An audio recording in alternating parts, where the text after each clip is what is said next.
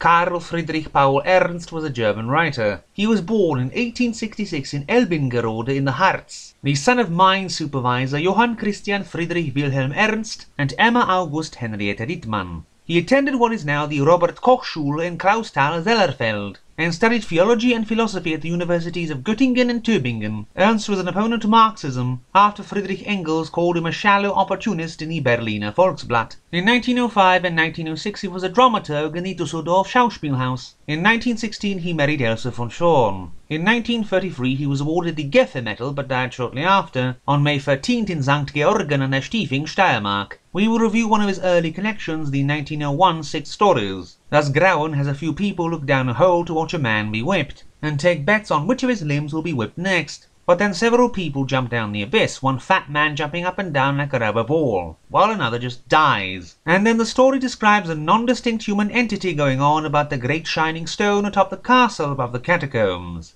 Julian and Celia has Prince Julian be deathly afraid of women, so when he meets Celia he just sits next to her every day on a bank and as he gets more and more depressed, his father, the king, thinks she is a witch who stole his soul, and when she refuses to marry his son, he has her burned to death. The lonely has a youth idle about, before he gets insulted by a flower and then gets chased around by the literal incarnation of nothing, that devours everything behind him so that he becomes feared as one who brings death everywhere he goes. In The Phantom, we see a German magician sit around in his room, willing a grotesque disembodied floating head with a huge hole in the back of the head and bits of bloody tube sticking out into being. This he randomly sicks at a mandarin in China for no apparent reason. After summoning a huge gathering of souls to watch him do it for no apparent reason, the Mandarin is sat in China bored, and his wife actually says how wonderful it would be if he had a second wife. So his father-in-law gives him money to pay the parents of a woman the Mandarin and his wife somehow saw in their pool. Then the Phantom shows up and pesters him. So the Mandarin goes to Germany, finds the magician, sicks the head on him and leaves. The magician is so bothered by the head he rather makes it a body, calls it his son and pays him money to stay away.